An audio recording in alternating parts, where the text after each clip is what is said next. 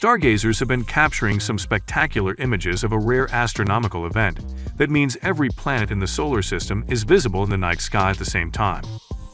Mercury, Venus, Mars, Jupiter, and Saturn can all be seen with the naked eye, while Uranus and Neptune are possible to spot with binoculars or a telescope. Astronomer Dr. Gianluca Masi shared a picture he took of the five planets that could be seen with the naked eye, while other skywatchers across the world also captured images of the planet parade.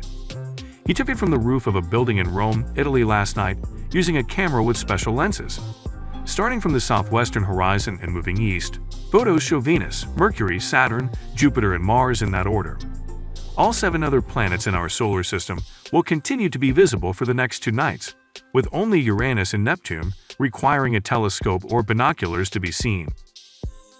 Dr. Masi, who works with the Virtual Telescope Project, said, The opportunity to see all the planetary family at a glance does not happen often. We can get a better idea of the cosmic place where we live by looking at the other planets.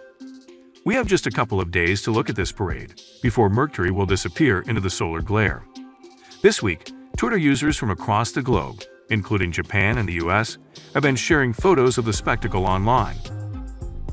The phenomenon is known to occur about once every two years. All planets appeared in the night sky as small points of light to stargazers in the northern hemisphere. Mercury is the hardest planet to see without magnification, as it is sitting in a bright part of the sky. However, it can be spotted close to the much brighter Venus, which outshines it by 70 times. Tonight, the two reach conjunction, and they won't appear this close again until 2024. They can be spotted low in the west, and we'll get the best view about half an hour after sunset, with Venus disappearing about 40 minutes later. The rest of the planets line up eastwards, with Jupiter appearing brighter than all the stars and high in the southern sky.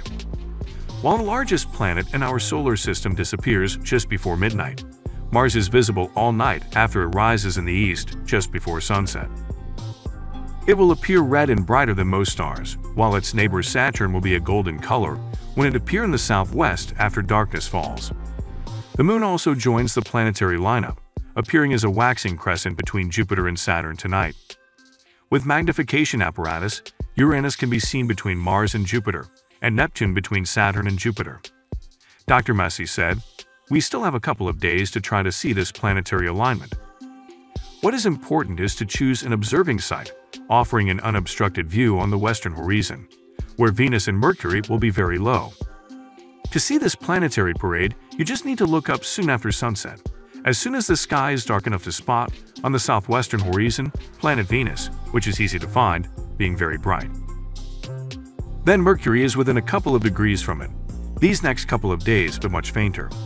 It should be visible by naked eye before it sets, but binoculars will make it easy to see the innermost planet. Then, we have Saturn, Jupiter and Mars, plus the Moon not far from Jupiter. Binoculars will also show Uranus and Neptune, so that the entire planetary system can be explored in a few minutes.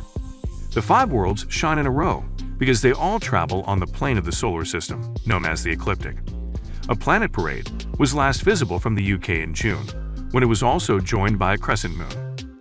The five planets visible to the naked eye all appeared in the order of their distance from the Sun, a lineup that had not been seen for 18 years.